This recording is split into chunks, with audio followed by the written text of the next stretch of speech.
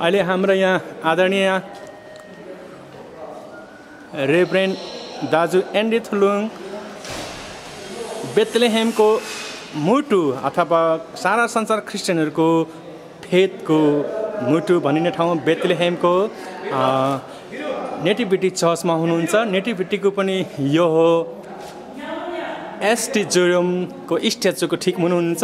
ST Joram पनि Christian आश्रममा उहाँ पनि एउटा सन्त कलाइन हुन्छ जसले ल्याटिन भाषाका ल्याटिन भाषा भोलगेटका बाइबललाई उहाँले इङ्ग्लिस भोलगेटमा ट्रान्सलेट गर्नुभयो। र हामी यसको ठिकका चरणमा हामी हामी हाम्रा आदरणीय रेभरेन्ड एन्डिथुलुङ दाजुलाई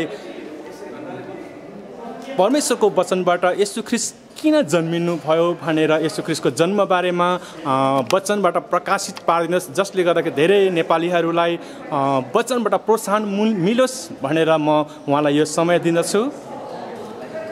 यो बेतलहेमको यो सानो गाउँ पहिला थियो अहिले सहर छ। र आज हामीहरू यो ठाउँमा आइपुगेका छौँ यसको चारैतिर भव्य भवनहरू छ। तर यसो जन्मनु भयो त्यति बेला यस्तो भव्य भवनहरू त थिएनन्।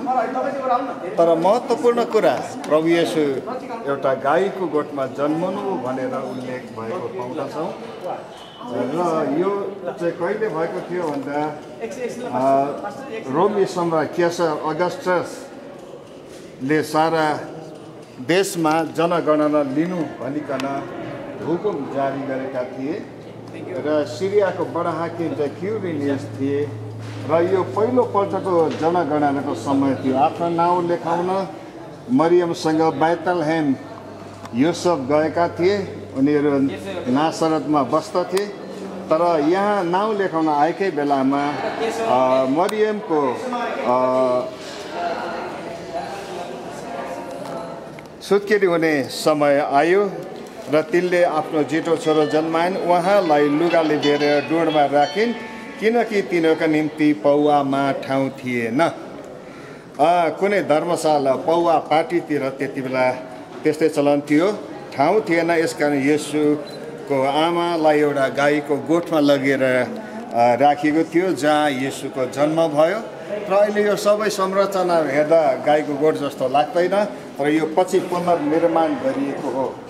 र यीशुको त्यो जन्मको खबर चाहिँ गोठालाहरूलाई स्वर्गदूतले दिए नौ पद लुका दुईको नौ पदमा प्रभुको एउटा स्वर्गदूतले तिनीहरूका देखा परे र प्रभुको तेज तिनीहरूको वरिपरि चम्क्यो अनि तिनीहरू साह्रै डराए। तब स्वर्गदूतले तिनीहरूलाई भने नडराओ किनभने हेर म तिमीलाई बडो आनन्दको सुसमाचार सुनाउँछु जो सबै मानिसहरूका निम्ति हुनेछ।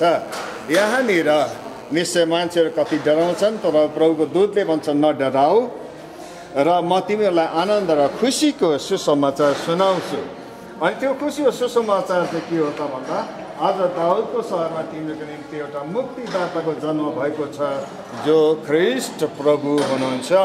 खुसीको कुरो। दुई हजार वर्ष अगाडि यो ठाउँमा प्रभु येसु ख्रिस्ट जन्मनु भयो जो सबै मानिसको उद्धार र मुक्तिको निम्ति हो र आज हामी आनन्द गर्न सक्छौँ खुसी छौँ र आज विश्वास गरेर उहाँमा जिउँछौँ। निश्चय नै हामीहरू प्रभु यशु ख्रिस्टद्वारा उद्धार र मुक्ति पाएकाहरू हुनेछौँ। किनभने आज हामीले परमेश्वरको यसु ख्रिस्टको आराधना गर्न पर्दछ। चौध पन्ध्र हेर्दा स्वर्गदूतहरूले पनि उहाँको स्तुति प्रशंसा गरेका देख्दछौँ।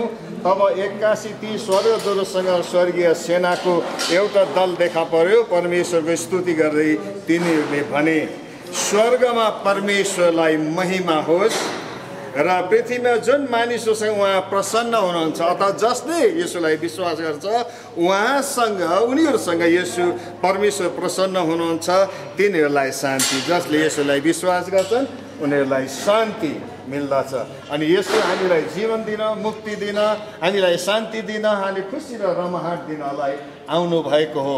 मैले अघि मात्रै उताका डाँडाहरूलाई हेरेँ बडो नराम्रो डाँडाहरू एकदमै रुख सुक्खा रुखो तर यस्तो ठाउँमा पनि प्रभु यसो ख्रिस आउनुभयो र यस्तो ठाउँ प्रभुका चुनेका मानिसहरूले सुन्दर सहरहरूको निर्माण गरेका छन् फलफुलहरू लगाएको छ हरियाली छ। यो अचम्मको र आशिषित यो जाति यो देश आशिषित भएको कारण हामी पनि यहाँ आएका छौँ। ताकि यहाँबाट आउनुभएको मुक्तिदातालाई विश्वास गर्ने सबै देशका मानिसहरू हामी आशिषित हुन्छौँ। हामी खुसी मनाउँ परमेश्वरलाई महिमा दिउँ। धन्यवाद छ हामीले यसरी आउन पाएकोलाई नेपालबाट हामी खुसी मान्छौँ। र यो सौभाग्य हामीलाई यस वर्ष पायौँ। अनि सायद फेरि पाउँछौँ पाउँदैन। तर यी कुरालाई हामीले बटुले लगेर नेपालमा पक्कै पोख्नेछ हामीले पढेको र देखेको र धेरै अन्तर रहेछ भन्ने कुरा हामीले पक्कै महसुस गऱ्यौँ भन्ने मलाई लाग्छ। धन्यवाद।